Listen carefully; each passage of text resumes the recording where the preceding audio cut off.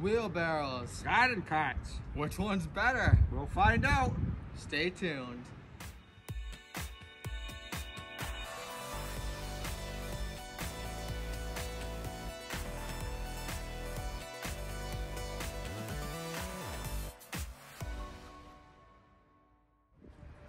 So in today's video, we're gonna go over some of the differences, really, Brett, between garden carts and wheelbarrows. Which ones are better for what jobs? Alright. So here we got a single wheel wheelbarrow. It's about six cubic foot tub. It's a steel tub. We have an eight cubic foot plastic tub, two wheel wheelbarrow. And then we have a four wheel garden cart. So obviously wheelbarrows and carts both come in a variety of different sizes. We got big wheelbarrows, small wheelbarrows, same with carts. Let's have a few talking points and we'll see where each one shines. So first we're gonna start with the single wheeled wheelbarrow, which is the most conventional of anything you'll find.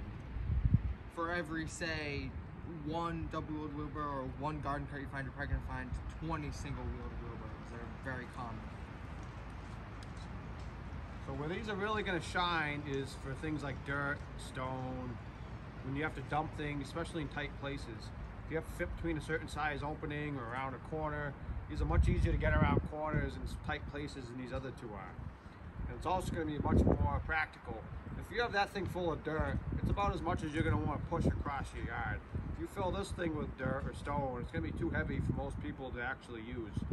So this would be better if you're gonna do something light like mulch or wood chips or maybe brush or something to that effect. Yeah, something where you want a lot of volume, but it's not heavy, so the weight doesn't really matter.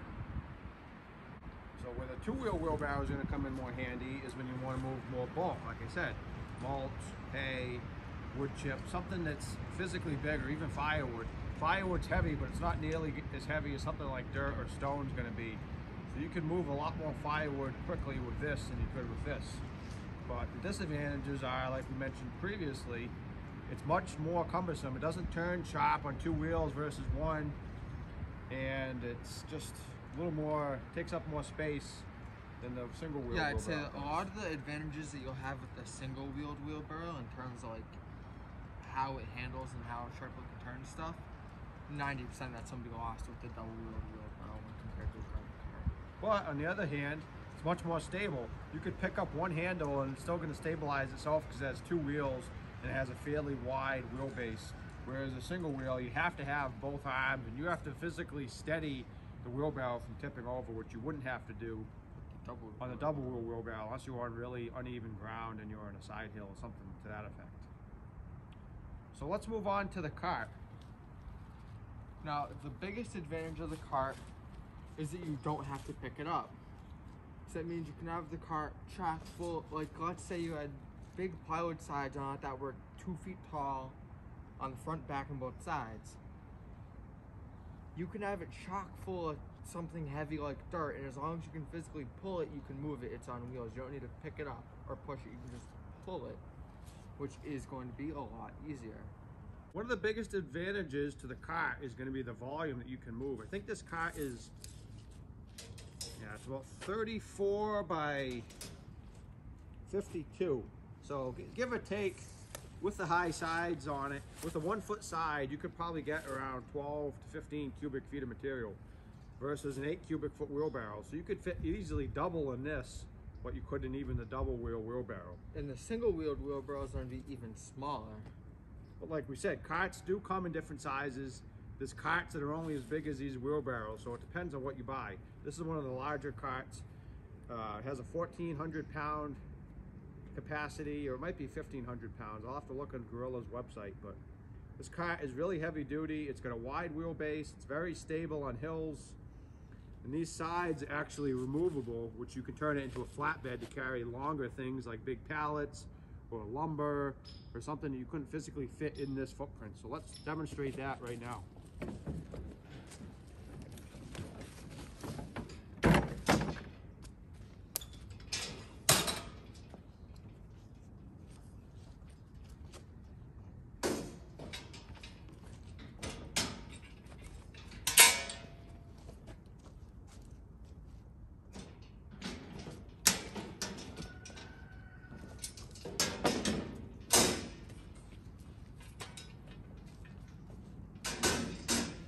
As you can see there, it only took us a matter of what, 10 seconds maybe, 15, 15 seconds Seconds, yeah. to convert this into a flatbed cart. Now let's say you have this pallet here. It's, I want to say four feet by eight feet. Is that? Yep. Yeah, four feet by eight feet. If you want to put this on a wheelbarrow, either the single wheel or the double wheel, you'd have to rest it on top, which is really dangerous and can only do it tipping really easily. But with this, you can just put it on the flatbed, and within reason can just roll it around as my father's demonstrating. No. And this is a big pallet. Most pallets are not going to be a four foot by eight foot footprint. They might be four foot by four foot. 48 by 48 or 40 by 40. You know, this is about as big of an item as you're going to move realistically. But try putting this on the wheelbarrow.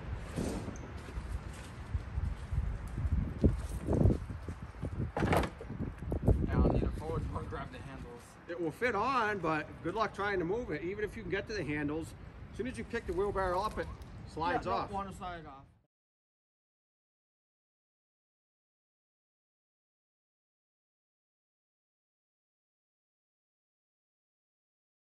Yep. So that's one of the big advantages to these carts is they're more multi-use than a wheelbarrow. The wheelbarrow really specializes in dumping things. The cart Specializes in more moving, less dumping. the cart doesn't dump, but they do make dumping carts. This particular one doesn't, but there is another big advantage that we want to show you. Another big advantage is on this, the handle is reversible, so you can hook up to a machine as my father's about to demonstrate with the 448 you see here. Which is in fact a third of his Super Garden Tractor collection. And if you haven't seen the Super Garden Tractor video, I recommend it. It's very interesting.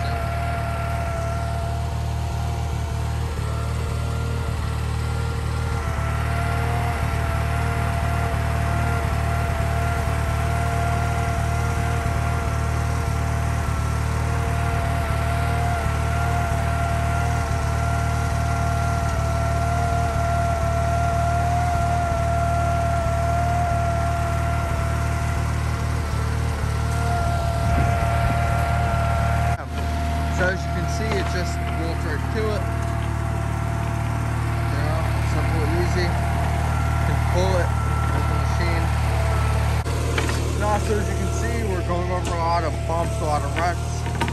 Really uneven ground, and the cart's just holding up fine, you know? Like, it's obviously a little bumpy, but that's to be expected when we're going over ruts that are three, four inches deep, you know? So let's see how much black locust we can fit in the cart.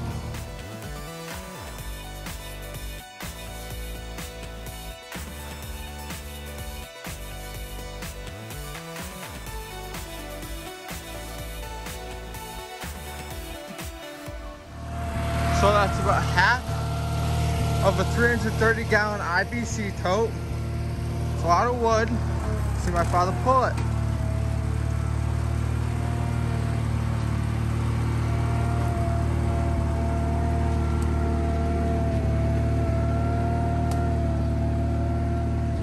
So as you can see, the garden cart, no problem. Pulls it just fine.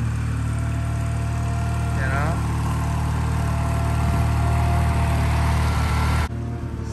Because this is essentially a trailer. Wheelbarrows aren't meant be trailers.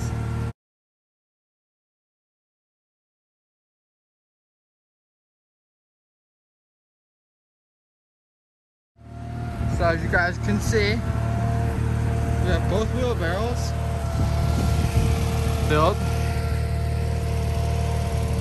to what can really only be described as overflowing with wood. We still have quite a decent amount left in the car. And the other thing is, I don't even know if you could push this once it's so heavy because there's so much wood in it. You know? Like, do you see how much, I don't know if you guys can see that, but that tire is sagging a lot now because how much wood is in it. That one's not really, but that one is.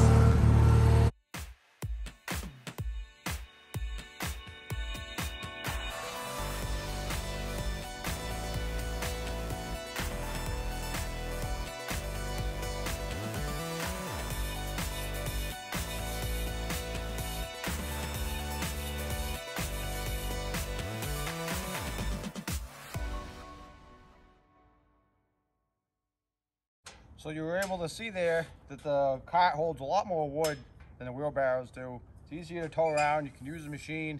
It only takes a matter of seconds to turn into a flatbed or a matter of seconds to turn it into a hitch that a machine can tow with. And I think we calculated that wood is about 800 to 1,000 pounds. That 330 gallon tote holds about 50 to 55 cubic feet. And this was this had half the tote in it, so you got to figure 25, maybe to 27 cubic feet of wood, which is about a fifth of a cord. And black locust dry is 4,000 pounds or so a cord. Wet, it's more like 4,600, and that's not totally dry or seasoned.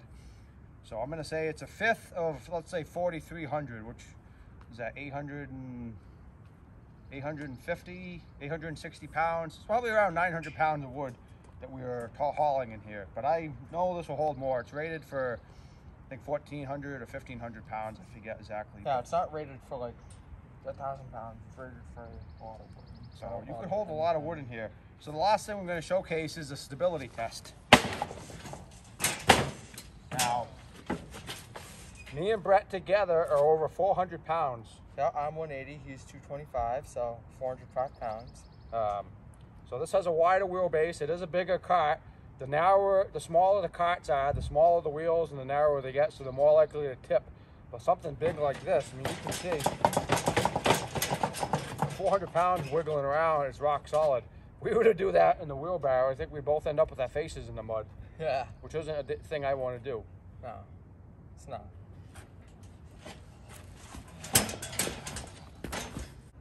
So as you can see, this cart and that wheelbarrow, they're both steel.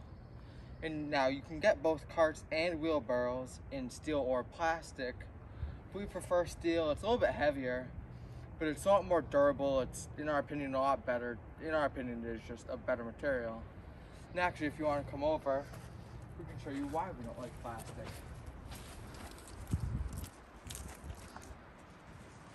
So as you can see, this wheelbarrow has a big crack there, has some cracks here, cracks here, big, I don't even know what you call that, like just a hole there.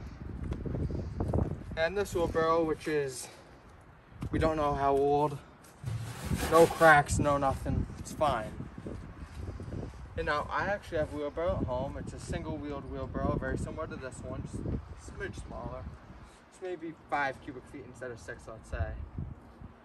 But we only used it for firewood, and like this one, we never beat on it. We weren't rough with it, just we used it normally. And over time, it's gotten a lot of cracks and chips and stuff like that in it, exactly like that one does. And so that's why we prefer metal. And so at home now we have a metal wheelbarrow, which is seven cubic feet, I believe. So it's bigger than this one, but smaller than this one. Those are good points, Brett. I think that red wheelbarrow uh, has actually been passed down to a few different people. It's kind of like a family, family heirloom, I guess you could say. It's been, I don't want to say abused, but it's been used well. It's had handles replaced a couple times. It's had concrete mixed in it. It's been used a lot. And it's probably at least two to three times older than the blue wheelbarrow, which I bought new probably maybe 11 or 12 years ago. But Brett brought up some good points about durability, which is something to keep in mind. I don't care how tough they claim the plastic or the polymer or whatever is, it just doesn't hold up over time. Unless you're going to use it for mulch or something really soft. If you're planning on dumping stones or rocks or gravel or firewood, I would just get the steel and be done with it. Yeah. So in the beginning of the video, we said wheelbarrow or cart, which one? Now at the end of the day, it really is going to depend on what you need to use it for, your specific tasks, and all that kind of stuff. Yeah. But if I were to tell you which one I prefer, I would greatly prefer the cart over the wheelbarrows. So if you have a tractor with a bucket or a loader or whatever, the wheelbarrow kind of loses a lot of its charm because one of its biggest features over the cart, or some of the carts, is that it can dump, which they have dumping carts too, but I think the wheelbarrow's biggest advantage is dumping. I think everything else, the cart is just as good in or better. So I like the carts. I recommend getting a bigger cart because you get a wider wheelbase. It's more stable, can hold more, has bigger tires, so it rolls better. And you can always use a big cart with less stuff in it, but you can't put more stuff in a cart once it's full if it's small. So my personal favorite would be a bigger four-wheel cart. But at the end of the day, it's up to you. Also, another thing to consider is my father owns a big country property. You know, let's say you own a acre property in the suburbs. A big garden cart like this, it's not going to be practical. You're never going to be moving stuff far enough that you're going to warrant such a big cart. And you would honestly be better with a small wheelbarrow, especially because it's so easy and Or a small cart. Or a small cart, yeah. But I don't think that a big wheelbarrow or a big cart would be right for you. I think you'd want to go with something smaller. And like we said, at the end of the day, it's going to be up to you what you have to use it for, what you have for a property, all that kind of stuff is going to factor in. There is also cost. I think the carts in general are going to be a little more expensive, but not a lot. Maybe, 20, 30, 40 bucks more. yeah, maybe 10% more, 15% more than a cart. But if you're spending $100 or $140 or whatever, at the end of the day, you have it for 10 or 15 years. Is it really a big difference? To me, it's not. It's not like you're spending thousands more for one versus the other, or even hundreds more. It's a matter of 10 15 dollars. maybe $20 more for one versus the other. But we hope you've enjoyed today's video. We hope it gave you some ideas and thoughts. And if you're thinking of getting a cart or a wheelbarrow, which one might be right for you? And as always, please like and subscribe, and we'll see you in the next one. Stay tuned.